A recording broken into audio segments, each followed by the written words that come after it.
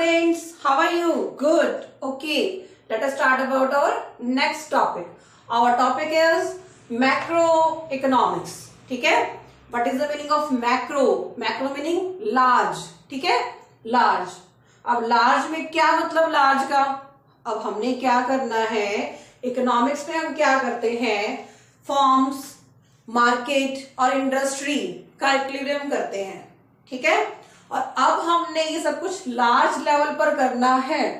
पहले हम क्या देखते थे कि आपकी डिमांड और आपकी सप्लाई क्या हो, एक दूसरे के इक्वल हो। लेकिन अब हमने क्या देखना है? एग्रीगेट डिमांड और एग्रीगेट सप्लाई एक दूसरे के इक्वल हो। इसका मतलब क्या है कि आपकी मार्केट क्या हो गई है? लार्ज हो गई है। आपकी इंडस्ट्री क्या हो गई है? लार्ज हो गई है। लार्ज इंडस्ट्री का मतलब क्या है? कि आपने सारी इंडस्ट्री का इक्विलिब्रियम करना है। ये नहीं कि सिर्फ़ एक इंडस्ट्री के बारे में पढ़ना है। नो no, आपने क्या करना है? जितनी आपकी कंट्री में इंडस्ट्री है सभी का इक्विलिब्रियम करना है। ठीक है? और फॉर्म्स आपकी कंट्री में बहुत सारी फॉर्म्स भी है तो उसका भी इक्विलिब्रियम कहाँ होगा? मैक्रो इकोनॉमिक्स के अंदर। और क्या होगा? लार्ज इंडिविजुअल आपने सिर्फ़ अपना इक्विलिब्रियम नहीं करना है कि आपकी सैलरी फिफ्टी थाउज़ेंड है तो आप कहाँ पर इक्विलिब्रियम में होगे? नो no, आपने सभी का इक्विलिब्रियम करना है कि अगर ए की सैलरी बी की और सी की इसकी सैलरी फिफ्टी थाउज़ेंड है इसकी सिक्सटी थाउज़ेंड है और इसकी सेवेंटी थाउज़ेंड है तो कितनी गुड्स परचेज की जाएँगी? डिमांड कितनी होगी और सप्लाई कितनी होगी? क्या करोगे? लार्ज फॉर्म और लार्ज इंडिविजुअल का, जिसमें आप नॉलेज लोगे, वो क्या होगा? मैक्रो इकोनॉमिक्स क्लियर मैक्रो मतलब बड़ा बड़ा मतलब उसमें आपको सभी का इक्विलिब्रियम करना है। ठीक है? अब देखो, अब इसमें मेन कंपोनेंट्स क्या होंगे? थ्री मेन कंपोनेंट्स होंगे। First is equilibrium in the economy हमने ये तो पढ़ लिया ना कि मार्केट इंडस्ट्री फार्म और इंडिविजुअल का इक्विलिब्रियम करना है। इक्विलिब्रियम मतलब एग्रीगेट डिमांड इक्वल है एग्रीगेट सप्लाई ये आपको करना पड़ेगा। ठीक है?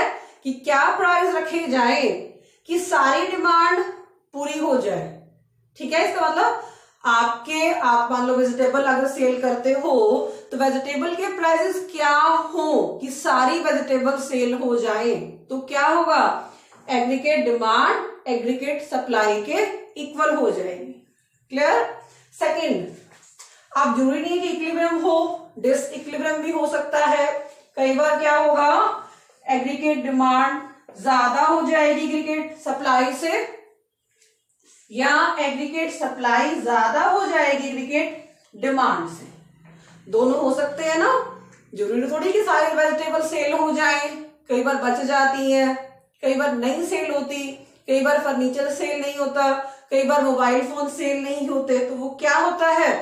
डिस इक्विलिब्रियम ठीक है? इसका मतलब एग्रीगेट डिमांड आपकी एग्रीगेट सप्लाई के इक्वल नहीं है, वो क्या हो गया? डिस इक्विलिब्रियम हो गया है। क्लियर तो ये हम कहा पढ़ेंगे?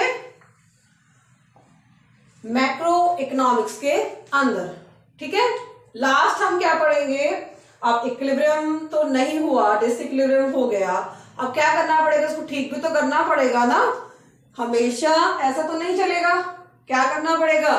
कोई ना कोई गवर्नमेंट के द्वारा कुछ ना कुछ पॉलिसी निकालनी पड़ेगी, ठीक है? जिससे क्या हो, इक्विलिब्रियम दूर हो जाए। तो क्या होगा इसके अंदर? थ्योरी रिलेटेड टू करेक्ट इसको करेक्ट करने के लिए आपको क्या करना पड़ेगा? कुछ ना कुछ वो सारी चीज़ें भी हम कहा पढ़ेंगे? मैक्रो इकोनॉमिक्स के अंदर। आपकी फ़िज़िकल पॉलिसी होगी मॉनिटरी पॉलिसी होगी, ये सारी पॉलिसी क्या होंगी? डिस इक्विलिब्रियम को दूर करने के लिए होंगी। और ये सारी आप कहा पढ़ोगे? मैक्रो इकोनॉमिक्स के अंदर। ये पूरी बुक है आपकी मैक्रो इकोनॉमिक्स ठीक है? ये आपने आगे जाके पढ़ना है। सिर्फ़ इसमें स्मॉल सा दिया हुआ है कि आप इसमें क्या क्या रीड करोगे। ठीक है? आई होप आपको क्लियर हो गया होगा। Okay student have a nice day